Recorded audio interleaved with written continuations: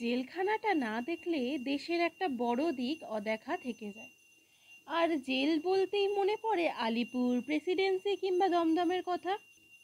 প্রথম যারা সাজা খাটে তাদের জন্য আলিপুর নিউ সেন্ট্রাল। যারা বাস্তু ঘুঘু জেলের ভাষায় যাদের বলে বি ক্লাস, তাদের জেল প্রেসিডেন্সি। প্রকাণ্ড একটা চাবির রিং গলায় ঝুলিয়ে একটা দাড়িওয়ালা সেপাই কেবলই চরকির মতো ঘুরছে। একবার এ গেট খুলছে, একবার ও গেট। রাম দুই তিন বলে লোক ঢোকাচ্ছে আর বার করে দিচ্ছে। পাছে ভুল হয় তাই দুবার তিনবার করে গুনছে। মানুষগুলো যেন তার কাছে অঙ্কের একখানা চিহ্ন ছাড়া কিছুই নয়। ভেতরে ঢুকেই দেখবে দেয়ালের গায়ে ছাপার মতো হরপে লেখা অনেকগুলো পোস্টার। গির্জার সামনে যেমন মথিলিখিত সুসমাচার লেখা থাকে তেমনই তাতে লেখা আছে, চুরি করা মহাপাপ। ছোট কলকেও চোখ রাঙিয়ে সাধুচরণ সেদিকে তাকায় আর হাসে। ছেলের নাম রাখার সময় সাধুচরণের বাপ কি ভাবতে পেরেছিল? তার ছেলেটা বড় হয়ে এমন করে নাম হাসাবে? গায়ে মাংস নেই সাধুচরণের। বছর পঞ্চাশ বয়স। জয়নগরের কাছে এক অজ গায়ে তার বাড়ি। ছেলেবেলায় তার বাপ মা মরে যায়। আত্মীয়দের বাড়িতে তার জায়গা হয়নি। পেটের জ্বালায় ছিচকে চুরি শুরু করে। হাতে নাতে ধরা পড়ে জেল হয়। জেল থেকে বেরোয় পাকা সিধের চোর হয়ে। তারপর থেকে কতবার যে জেলে এসেছে, তার ইয়ত্তা নেই। মাঝে একবার মন হয়েছিল ঘর সংসার করার। চোরাই পয়সায় কিছু জায়গা জমিও কিনেছিল সে। বিয়ে করেছিল, একটা ছোট্ট ছেলেও আছে তার। কিন্তু ইচ্ছে থাকলে তাকে ভালো দেখতে দেয়নি রোজ রাত্রিরে প্রহরে প্রহরে চৌকিদারের খবরদারি। যেখানে যা কিছু হোক, থানায় সাধুচরণের ডাক পড়বে। মোটা রুলের গুঁতো খেয়েও রেহাই নেই। গাটের করিও বেশ কিছু খসাতে হবে। মিছিমিছি এই জ্বালাতন পোড়াতনের চেয়ে চুরি করে জেলের ভাত খাওয়াই ভালো মনে করেছে সে। তবে ছেলেটার জন্য আজকাল বড্ড মন কেমন করে। তাছাড়া শুকনো পড়ে আছে অতটা জমি। ছেলের নাম তার বিষে। গায়ের লোক ঠাট্টা করে বলে, চোরটা সাধুর ছেলে হবে, নির্ঘাত বিষে ডাকাত। ইয়ার্ডে ইয়ারে ভাগ করা জেলখানা। সেফাই কয়েদিরা ইয়ার্ডকে বলে খাতা।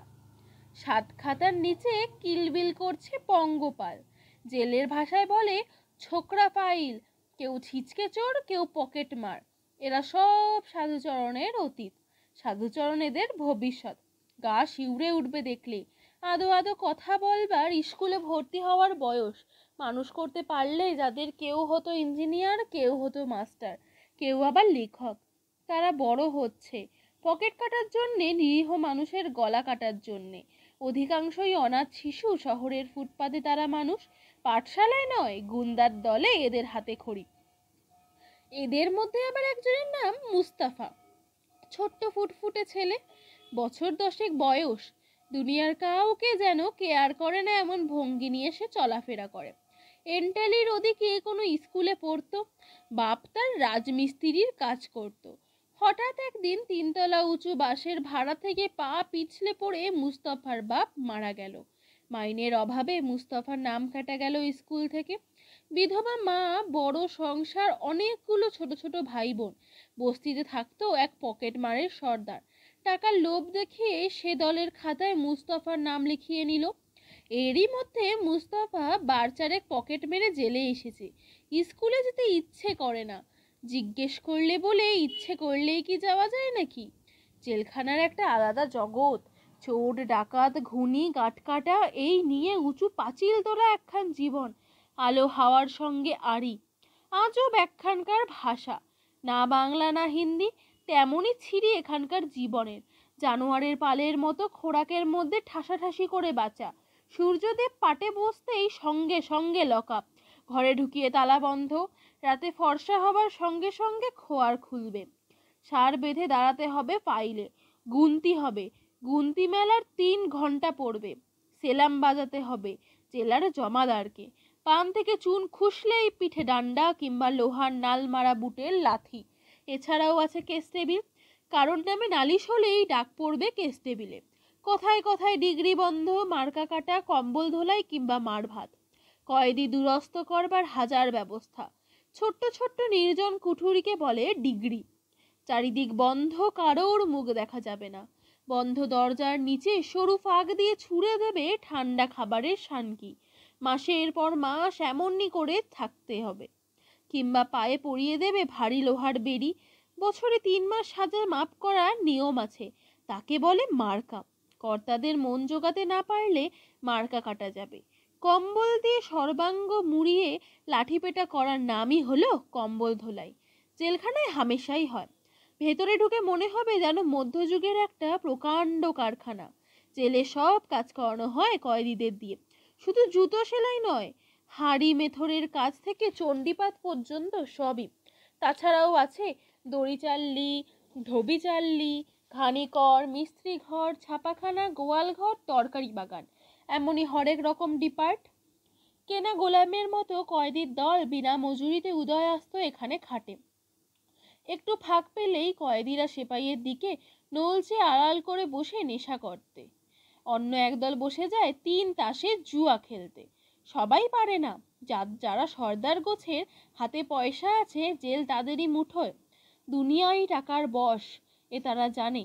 জানে বলেই তারা জেলে এসেও দল পাকায়, অন্য দলের লোককে ভেংচি দিয়ে দলে টানে। কিন্তু অবাক কাণ্ড, জেলখানায় পয়সা আইনে তো নেই। আইনে নেই বলেই টাকা রাখবার মজার কল করেছে তারা।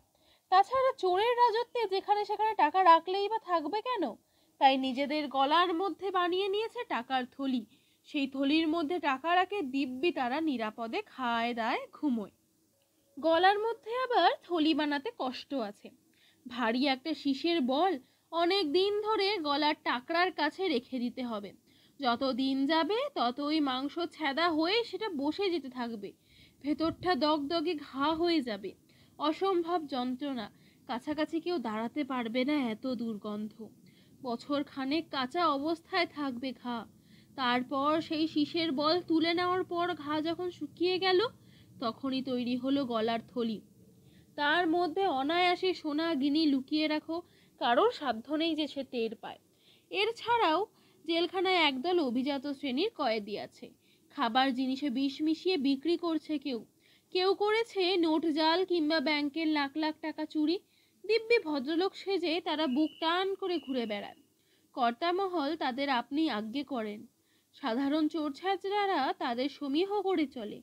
বড় লোকের এবং বড় ঘরের ছেলেরা এরা। ট্রামে বাসে পকেট মারেনি। ব্যাংকে টাকা চুরি করে হাজার হাজার গরিব বিধবা সংসারকে এরা পথে বসিয়েছে। অন্ধকারে দাঁড়িয়ে ছুরি দেখিয়ে এরা কারোর হাত থেকে টাকার থলি ছিনিয়ে নেয়নি। খাবার জিনিসে বিষ মিশিয়ে দোকানে দোকানে সেই বিষ হাজার হাজার মানুষের হাতে বিলি করেছে। ছোট লোক নয় এরা। স্কুল কলেজে পড়েছে। পেটেও টান পড়েনি কোনো দিন এমন নরম নরম যে রক্ত দেখলে মূর্ছা যায়। তার হাজার মানুষকে মৃত্যুর মুখে ঠেলে দিয়েছে তারাও। শত সহস্র ছাপোষা সংসারকে পথের ফকির করে দিয়েও জেলে গিয়ে তারা সুখে আছে। কেননা তাদের বড় ঘর বনেদি বংশ, তারা সুয়রানির ছেলে। আর যারা পেটের জ্বালায় পথ চলতি লোকের পকেট মেরেছে কিংবা জমি হারিয়ে পাইক বরকদাজের সঙ্গে লাঠালাঠি করেছে, তাদের জন্য অনন্ত নরকবাসের ব্যবস্থা। কিন্তু তারা গরিব, সাধারণ মানুষ, দুয়োরানির ছেলে, জেলখানায় অসহ্য লাগে অপরাধের তুলনায় শাস্তির এই হেরেফে কিন্তু এদের কারোর জন্যেই তৈরি হয়নি বক্সার বন্দি শিবির। এ হচ্ছে এক বিশেষ জেলখানা। দু যুগ আগে ইংরেজ প্রথম তৈরি করেছিল এই জেল, তার পুরনো কেল্লায়। ভুটানের কাছে লম্বা মেয়াদে ইজারা নেওয়া এই জায়গা আরও ঘন জঙ্গল ছিল আগে। এখনও পাহাড়ের গায়ে শোনা যায় বাঘের ডাক। এখানকার মাটিতে ফনা তুলে ঘুরে বেড়ায় বিষধর সাপ। বায়ু দূষিত করা জঙ্গলের হাওনা, ডন কুস্তি করা জোয়ান শরীরকেও কাঁপিয়ে দেয়। ঝর্নার জলে পিকনিক করছে রোগের জীবাণু। কাছে পিঠে বাজার নেই। অগ্নিমূল্য সব জিনিস। বাড়াবাড়ি অসুখ হলেও ওষুধ অভাবে, হাসপাতাল অভাবে অবধারিত মৃত্যু। নিজের দেশকে যারা ভালোবাসে, তাদের আপন প্রিয়জনের বুক থেকে ছিনিয়ে নিয়ে গিয়ে সেদিন দূর দেশান্তরে বনবাস দেওয়ার ব্যবস্থা করেছিল ইংরেজ সরকার। আকাশের বুক ছিঁড়ে দিয়েছিল তারা কাটা তারে সেপাইদের হাতে লাঠির বদলে তুলে দিয়েছিল টোটা ভরা বন্দুক। আজ ইংরেজ নেই, তবু তার আগের ব্যবস্থায় বহাল আছে বক্সায়।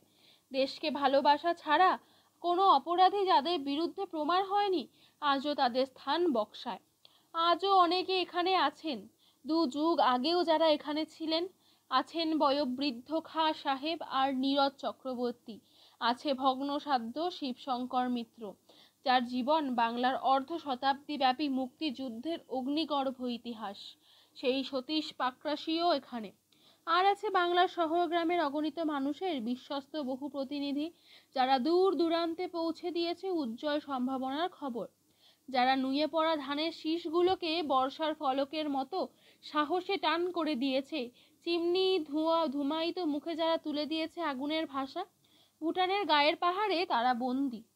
বাংলার মানচিত্রে খুঁজে পেলেও সে দেশ বাংলা নয়। ইংরেজের ঘুঘু চড়ানো ভিটে নির্বাসিত হয়ে আছে ভবিষ্যতের আশায় উন্মুখ আমার বাংলা।